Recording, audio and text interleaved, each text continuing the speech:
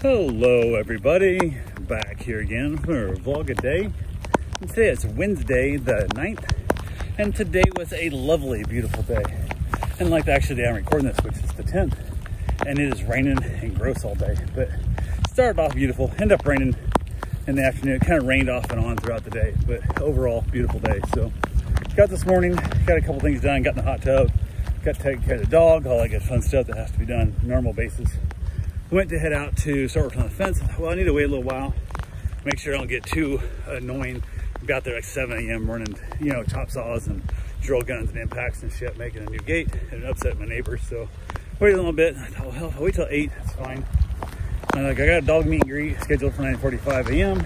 And of had that weird thing of I don't really have time to get any real work done and then go in and shower, get changed, and get ready, and go back and get work done again. So, well, I needed some more lumber. I screwed up my count.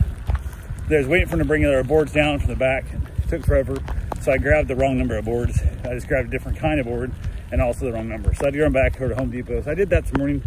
No one had an 945 appointment. Stopped by Tractor Supply, picked up a couple new gate hinges to mount to my um, post.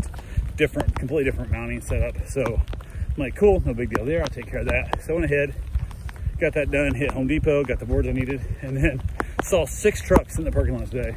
When I went in, that were all sitting out there idling. 68 degrees here today, by the way. It's perfect, gorgeous weather. Windows down, idle, motors idle, people sitting in the driver's seat, just sitting there waiting. And I'm like, what the hell? Everybody's bitching about this price of gas. And here it is. There's six trucks. They were still idle in there when I got there. And when I left, they were still idle in there. So at least 25, 30 minutes minimum, they're out there just wasting fuel. And yet those same people, I guarantee sometime this week, will post on Facebook about how goddamn much, you know, gas costs and it's overpriced and all this bullshit politicians. I'm like, yeah, could have shut your truck off and saved a lot of that gas or drove a Honda, you know, a whole bunch of things you could do differently, but it is what it is. So that was kind of gave me a good little chuckle laugh knowing it's going to come up. And of course, later in the day, it did come up on Facebook, somebody posting about the price of gas. And I said, gas is still too cheap in this country. When you'll leave your truck idle in front of Home Depot for 30 minutes or an hour or two, and I see it all over, it's Publix, it's everywhere.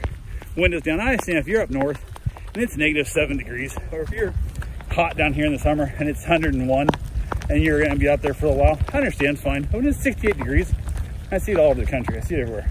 All, you know, from Mercedes to beat up old Honda Accords. They're all doing it. So that's what it is. Also, just that whole thing of when you're willing to run to the grocery store three or four times a week, because just just it's only you know 10 minutes away, 15 minutes away.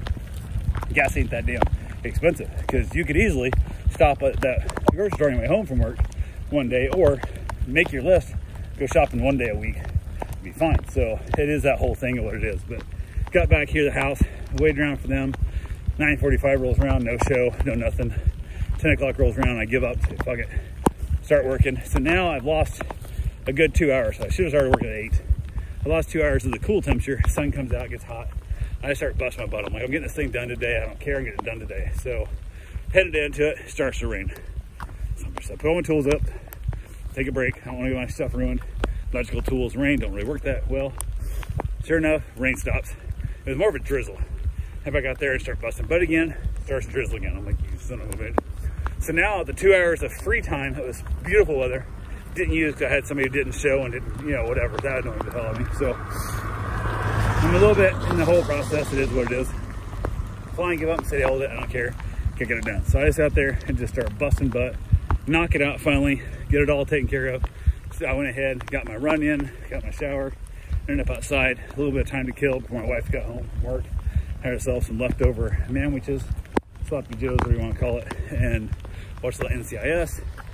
Ended up on the phone with um, Rover, the company I watch dogs through that screwed up my account. They're saying I have to update my banking, but it wouldn't let us punch in the social security numbers and stuff. And they changed the system over to have both our names on it, then said we can't have both names on it. And I'm like, you guys did this. Like, this is all your fault. So, so I got my pay bank and stuff figured out. So in theory, I should be able to get paid now from, but who knows. So got down there, headed back outside. After that, had myself a nice little cigar, chilled out for the evening. It was well after midnight when I came in. My lovely bride was asleep, passed out on the bed. She was tired. She went to bed, went to sleep early. And I was out there for quite a while. I came back in, woke her up as I was moving around stuff, whatnot. And then we basically chatted a little bit, watched an episode of uh, Golden Girls, and then she was back to sleep in no time, and I finally laid down and called it a day. So anyway, that's all I got for right now. We'll talk to you guys tomorrow. Have yourself a safe, wonderful day. Thanks for watching.